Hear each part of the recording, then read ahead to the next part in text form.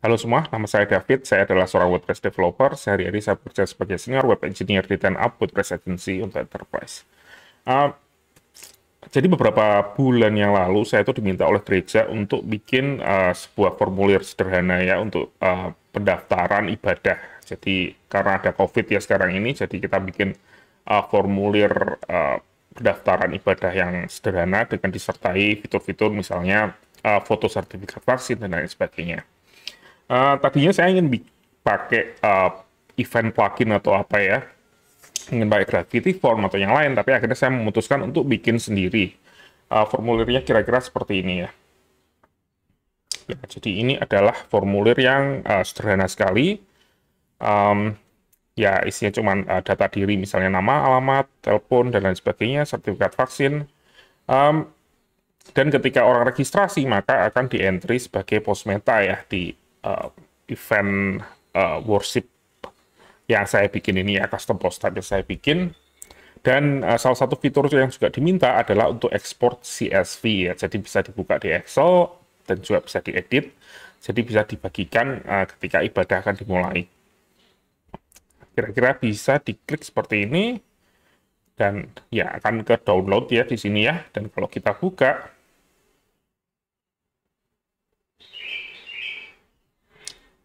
Oke, saya pakai LibreOffice.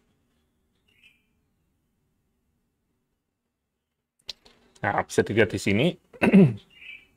Hasilnya kira-kira seperti ini. Ya, dan di video ini saya ingin menjelaskan uh, caranya bikin ekspor CSV seperti ini ya, dan bisa diimplementasikan ke banyak hal. Karena saya yakin ini sesuatu yang berguna dan uh, saya cukup sering sih bikin, walaupun dengan metode yang sedikit berbeda di setiap kali, uh, uh, di setiap uh, website ya tentunya berbeda-beda sedikit. Oke, kita mulai aja videonya.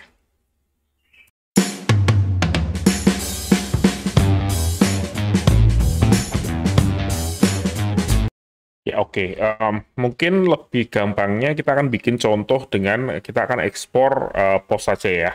Di post ada di WordPress, kita akan ekspor. Uh, kebetulan saya ada dua post yang ada di uh, web, uh, di website test yang saya bikin ini di lokal ada test post sama hello world dan kita akan ekspor dua-duanya datanya dengan menggunakan CSV.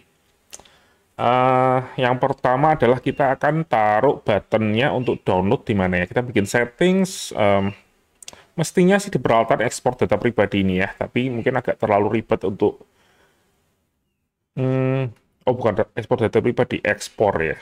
Uh, menu ekspor di sini biasanya untuk yang uh, di WordPress tapi kita akan bikin dashboard menu aja untuk memudahkan ya. Kita akan bikin uh, menu apa uh, widget di sini ya, dan kita akan tambahkan uh, button untuk export. Uh, untuk menambahkan widget di dashboard itu sebenarnya kodenya gampang sekali ya, uh, dengan menggunakan yang namanya uh, add the uh, lupa saya add dashboard widget. Kalau nggak salah fungsinya ini dan mestinya kalau kita lihat di dokumentasi di WordPress itu ada contohnya sih biasanya. Di bagian ini ya, uh, user contributed notes, kira-kira seperti ini. Dan bisa dilihat ini seperti ini ya kira-kiranya ya. Uh, cukup mudah, kita akan bikin sekarang aja. Uh, ini harus di action atau di hookkan di WP dashboard setup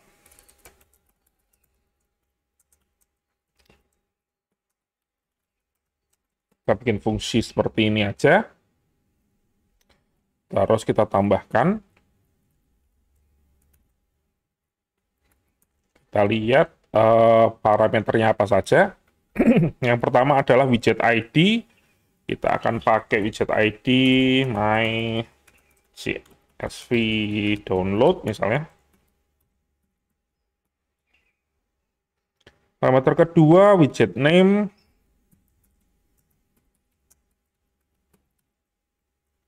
Ini cuma sebagai contoh aja ya, karena ya untuk memudahkan aja kita mau taruh uh, buttonnya di mana. Terus yang ketiga adalah callback.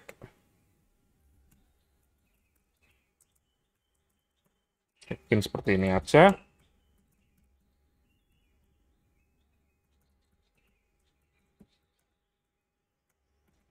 Kita coba tes ya. Apakah muncul atau tidak. di dashboard, kita refresh dan muncul ya di sini ya My CSV download uh, di sini ya halo dan kita akan ubah menjadi button di sini ya.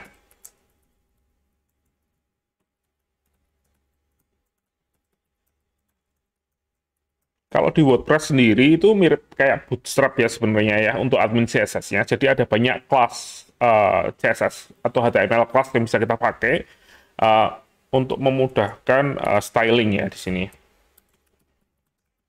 Misalnya kita bikin download CSV seperti ini, dan kita tinggal pakai class aja, button, button primary. Dan uh, akan ada button berwarna biru ya di sini. Ya, jadi kira-kira seperti ini ya. Ini bikin uh, downloadnya nanti akan di sini. Kalau mau kita tambahkan um, teks bisa di sini ya download CSV berisi uh, 10 post post terbaru.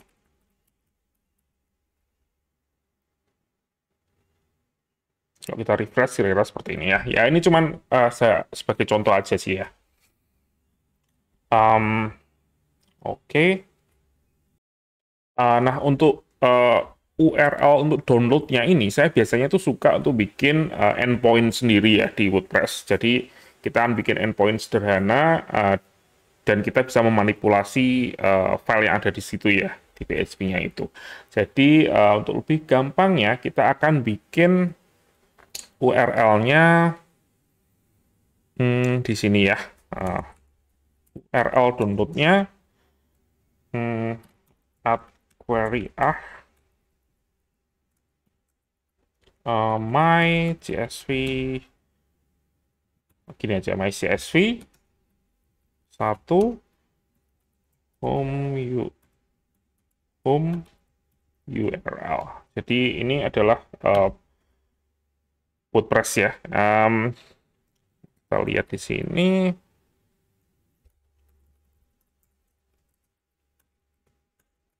Oh, escape URL.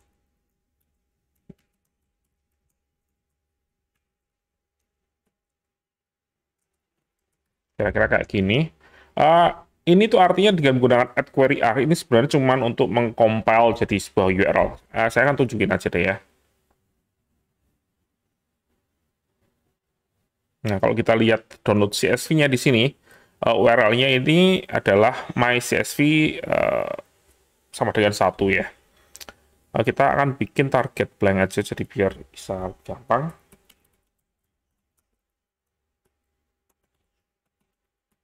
Nah.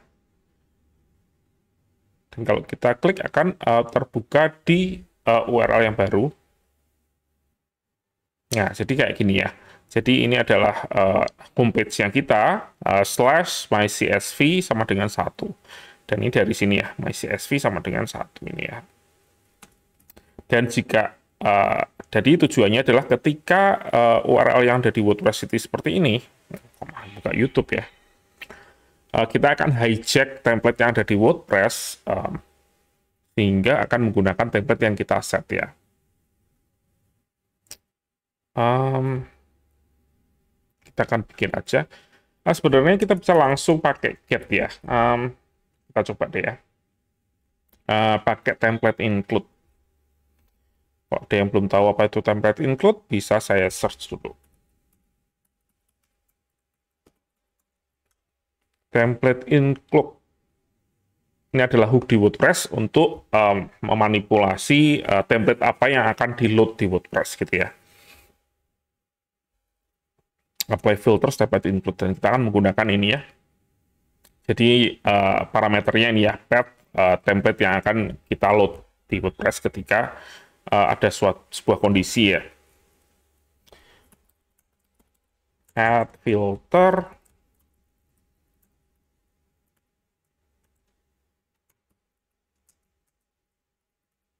template input.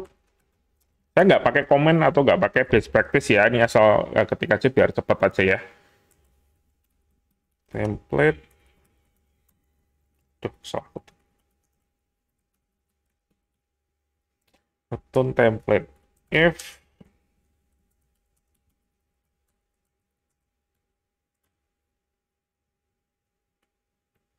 Eh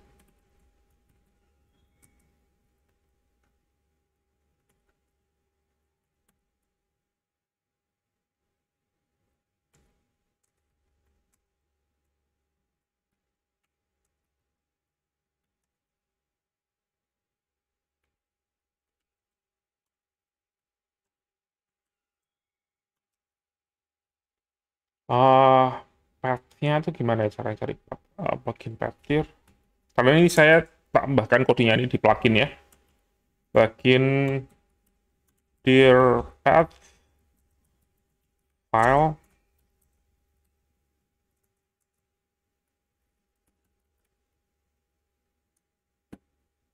Um, saya sudah bikin. Uh, kita bikin csv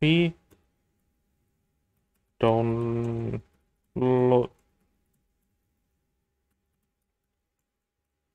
.php kayak gini ya.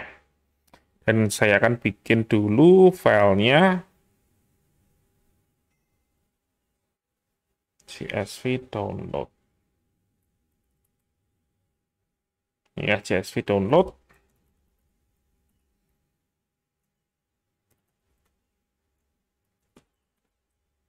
saya akan tulis uh, random di sini ya template csv dulu mestinya sini bener ya jadi kalau kita refresh lagi dengan URL uh, my CSV sama dengan satu, hmm, kok nggak bisa ya?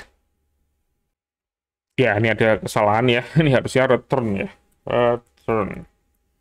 Dan kalau kita refresh, ya, otomatis ini ketika kita membuka URL ini, uh, dan kalau kita buka URL yang standar ya, homepage-nya aja, maka akan normal. Tapi kalau kita pakai URL parameter seperti ini, maka otomatis dia akan ngeload template yang kita bikin ya di sini. Nah, di file inilah yang akan kita bikin, kita transfer menjadi uh, sebuah file CSV. Uh, nah, gimana caranya untuk membuat sebuah uh, file dengan format CSV? Uh, caranya ya kita tinggal search aja di Google ya. Create CSV, PHP gitu. Biasanya ketemu sih ya. Ya, ini ada dua teratas, uh, dokumentasi dari uh, eh, php.net, dan ada uh, Stack Overflow ya, seperti biasa. Kita akan lihat di Stack Overflow aja. Hmm. Ini ada yang tanya, dan ini ada jawaban yang diterima. Uh, kita lihat aja di sini, ya ini pakai CSV put CSV sama yang ada di sini ya, dokumentasinya sudah benar. Uh, uh. Ya, seperti ini. Kita akan coba copy paste yang ada di sini ya. Terus kita akan tambahkan di sini. File yang kita bikin. Dan kalau kita refresh di sini, otomatis dia akan mendownload uh, sampel CSV sesuai dengan yang dicontohkan di uh, Stack Overflow ini ya. Kalau kita buka filenya, Hmm, yang tadi ya, saya tutup dulu deh. Oke. Nah, bisa dilihat ini sudah uh, terbuka ya dengan file CSV yang uh, sudah ada di sini. Jadi ya kira-kira seperti itu dan kita tinggal mengubah ini aja ya data yang ada di sini menjadi data uh, yang kita butuhkan uh, di uh, dengan data yang ada di WordPress ya. Uh, tentunya ini akan uh, susah ya untuk ngetes uh, seperti ini kalau kita menggunakan uh, setiap kali file di refresh harus download dulu filenya. Uh, caranya mudah sekali biar kita nggak perlu download. Kita comment dulu yang bagian header karena header ini yang menentukan jenis file apa yang akan uh, yang dibuka ya. Uh, jadi browsernya tahu oh ini filenya yang dibuka ini adalah file CSV jadi di download ya karena kan file CSV nggak uh, bisa dibuka di browser kita tutup seperti ini. Kalau kita refresh, maka otomatis akan kelihatan uh, printout-nya seperti ini. Jadi kita bisa ngecek uh, apakah datanya sudah benar atau belum. Nah, kita tinggal uh, bikin aja ya di sini ya. Filenya seperti ini. Jadi ini row pertama, row kedua, dan row ketiga ya. Uh, dan uh, Jadi setiap row adalah uh, nanti adalah WordPress post ya di sini ya. Jadi kita bikin aja di sini.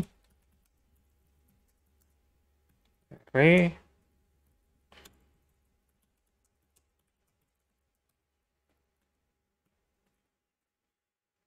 Ini cuma uh, sekedar contoh aja ya, jadi saya nggak akan bikin terlalu ribet.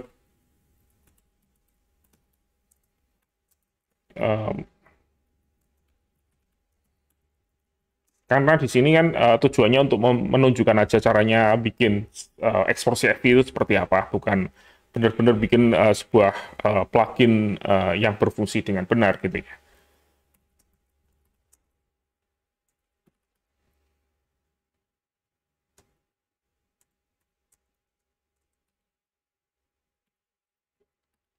Uh, di sini kita akan bikin koma separated ya. Implode.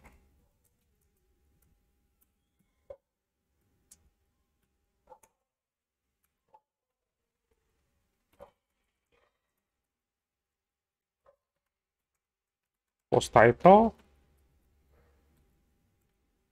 Post apa ya? kita bikin post post ID ya, post ID, post title gitu ya. Post ID, post title, oh, kayaknya cukup ini deh ya datanya. Hmm, kita coba dulu kita buka.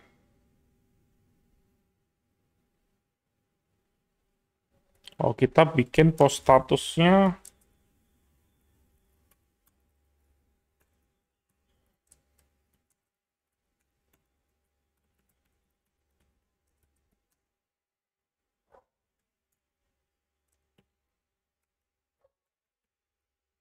Ini karena uh, yang dipublish sebenarnya cuma ada satu aja ya, karena yang test post ini masih draft, jadi saya bikin post status ini biar uh, semua post status juga akan masuk di situ. Dan kalau kita refresh, maka akan menjadi seperti ini ya, 11 test post, 1 hello world. Informasi yang lainnya yang bisa kita pakai itu mungkin uh, saja dari Google uh, variabel apa aja yang ada di WordPress post. Saya juga nggak hafal.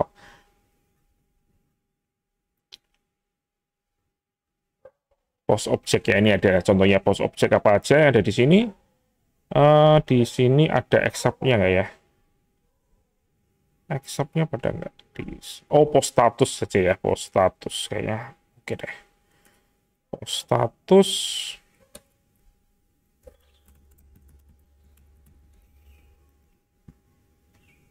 Terus post date. Um, post date-nya di mana ya? Post date. Oke, post date ada.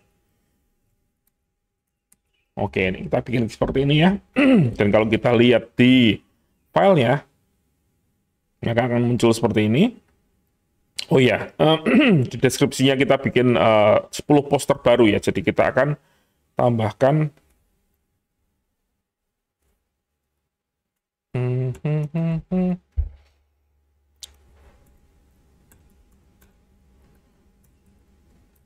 post per page 10 gitu ya. Oke, gini aja kayaknya sudah cukup. Dan kita kembalikan lagi headernya biar jadi file yang bisa akan otomatis di-download. Oke, kita akan tutup semuanya. Dan kita akan berada di dashboard, kita refresh. Dan ketika kita klik di sini, download CSV, maka otomatis akan membuka dan uh, mendownload file tersebut. Dan kalau kita buka filenya, akan seperti ini ya. Jadi post ID-nya 11, uh, post title-nya ini, post statusnya ini, dan post date-nya juga terdownload dengan baik. Nah, salah satu tips yang uh, wajib ya di sini menurut saya itu adalah uh, verifikasi uh, biar file ini tuh aman ya. Jadi uh, di WordPress itu kita menggunakan yang namanya uh, WordPress capabilities ya. Jadi kita akan securekan dengan uh, verifikasi yang mudah aja ya. If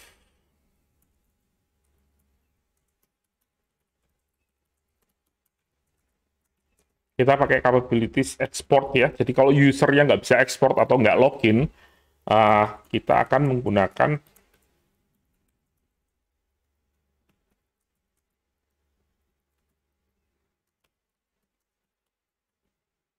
toolnya Anda tidak bisa ekspor.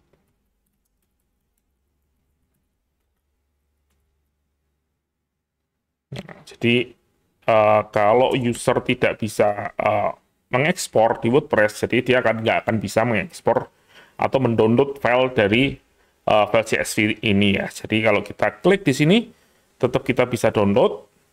Tapi kalau misalnya kita pakai incognito,